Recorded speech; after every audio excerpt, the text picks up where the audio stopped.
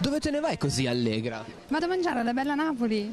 Ah, e certo, ristorante Pizzeria Bella Napoli ti offre la pizza più buona dell'oltrepò pavese. Qualità delle materie prime, ambiente accogliente, velocità ed attenzione al servizio la rendono la meta ideale per una pausa pranzo veloce o una gustosa serata con gli amici. E poi Pizzeria Bella Napoli ti mette l'allegria. Solo a Casteggio in via Vigorelli 1-3, vincitore del certificato di eccellenza TripAdvisor 2015. Il telefono fisso corre verso l'estinzione, titola così Repubblica, riportando i dati dall'osservatorio trimestrale dell'Agicom che ha registrato negli ultimi 12 mesi una riduzione di 510.000 linee. In poche parole, gli italiani hanno staccato la linea telefonica preferendo i cellulari.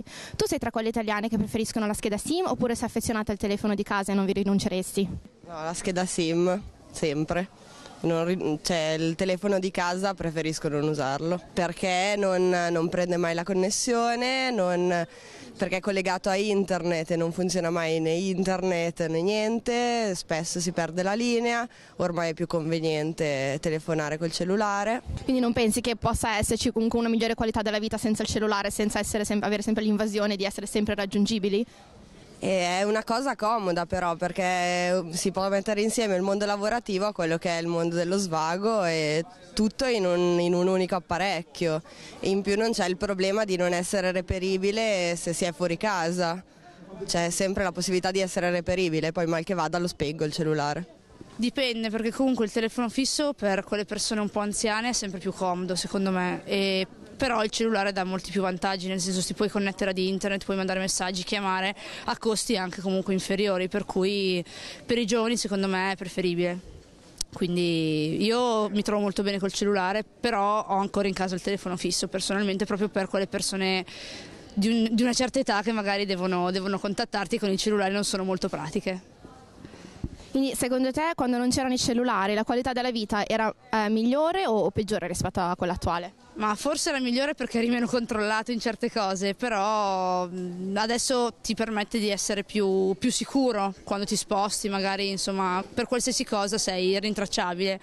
C'è il pro e il contro diciamo, quindi un po' rovescio della medaglia, però sì, prima indubbiamente erano più liberi, secondo me le persone, cioè le persone erano più libere, però non, non è una cosa negativa avere i cellulari secondo me. Affezionata alla scheda SIM. Perché vivo col cellulare e ormai contatto solo con Whatsapp, Facebook e non uso più il cellulare di casa che funziona tra l'altro pochissimo rispetto al telefono, nel senso che pochissime persone ci chiamano a casa a casa, ormai vivo solo col cellulare ma anche nella mia famiglia tutti chiamano sul cellulare, nessuno più ci chiama a casa sul fisso, se non magari per venderci qualcosa o promozioni, quelle cose lì. Secondo te quando non c'erano i cellulari la qualità della vita poteva essere migliore o inferiore rispetto a quella attuale?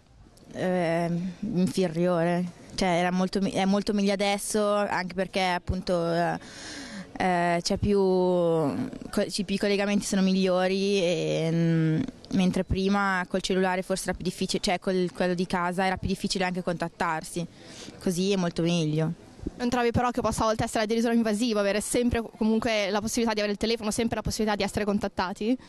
Quello sì, nel senso che io noto tantissimo che sono sempre sul cellulare, quindi la stessa cosa vale per me come vale anche per gli altri secondo me.